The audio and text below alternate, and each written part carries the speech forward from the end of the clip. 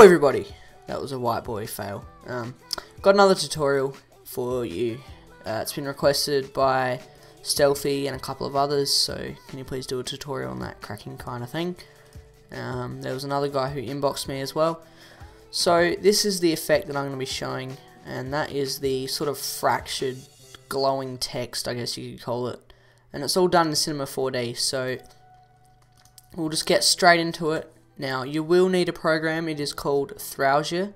I think that's how you pronounce it, but I will leave a, a link in the description for that, as well as the Lightroom which I'm using. Now, Thrausia is free, so there's no, I'm not going to go and tell you how to do it and explain how to get it, but it is free, so just type it in in Google and it'll come up. So once you've installed Thrausia, you want to open up the Lightroom and just create a text object and just name this to what you want so we'll just do tut. And you can really use any font you want but there's a few that look good and some of them look bad but there's one that I particularly like which is called Gotham. I think it's called yeah it's called Gotham. And it just it's very chilled I guess you could say and it looks really good in almost anything. So if I can find G then we'll use that one Oh, there we go. Um, Gotham. Okay, so once you got that, just zoom in a bit, and no need to put any colors or anything on there yet. Uh, you want to come up to plugins and Thrausia for uh, 1.22 for R12, depending on what version you have. And just click the top one that says Thrausia. Now, yours may have a picture here, but mine doesn't because I'm not sure, but it doesn't. So you want to leave everything the same. The only thing you want to change is the pieces. So um, I honestly use as much as you want or as little. I use 10 mainly, but for the sake of this tutorial we'll go like 15 because there's a few more letters.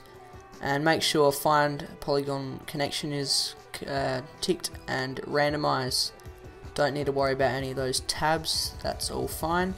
Just hit break now and you'll see it do its work. And you can just close out of that once it's all done. So now over here these are your broken letters I guess you can say. So you want to click the tick on all of these to make it fall I guess. Now come to the beginning of your timeline and just drop it down and you'll see that it'll sort of crack as it drops down but you don't want it to drop down you want it to stay in the one spot and sort of bulge out at you. So what we'll do, before we do that we're going to change the inner glow.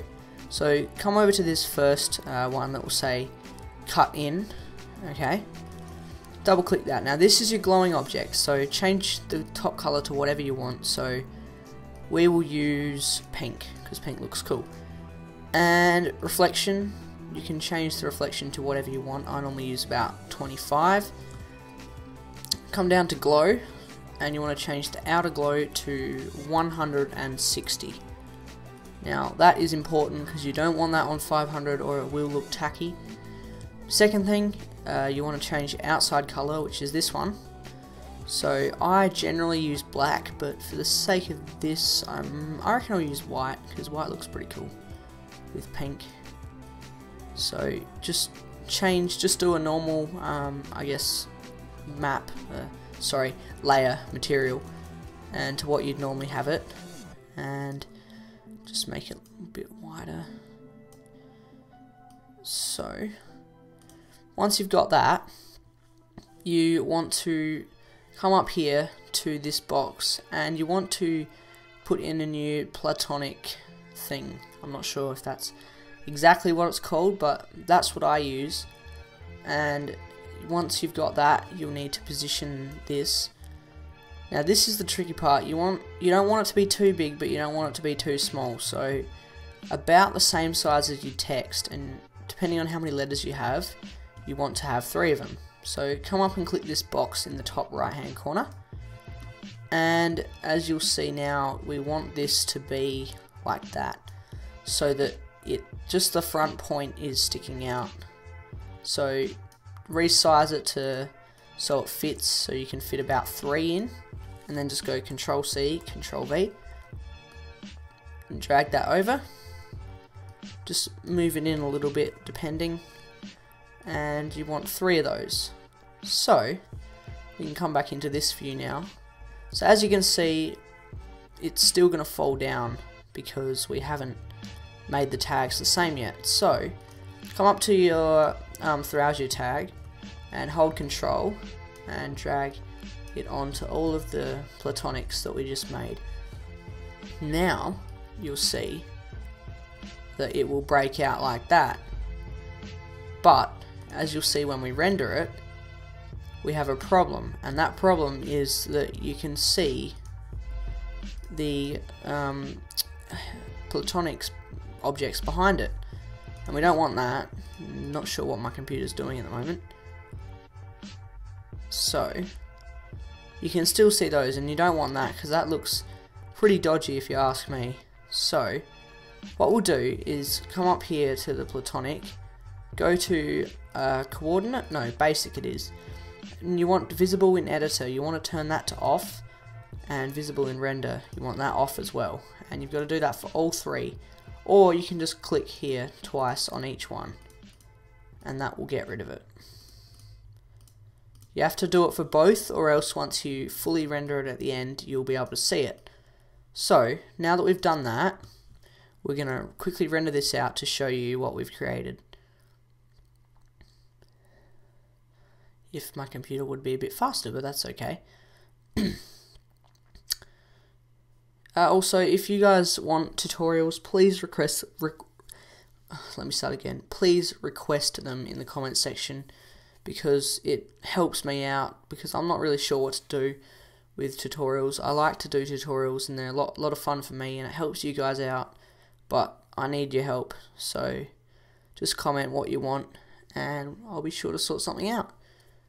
So that looks pretty cool, but it hasn't applied the glow yet, so you'll be able to see that in a minute uh, once it fully renders.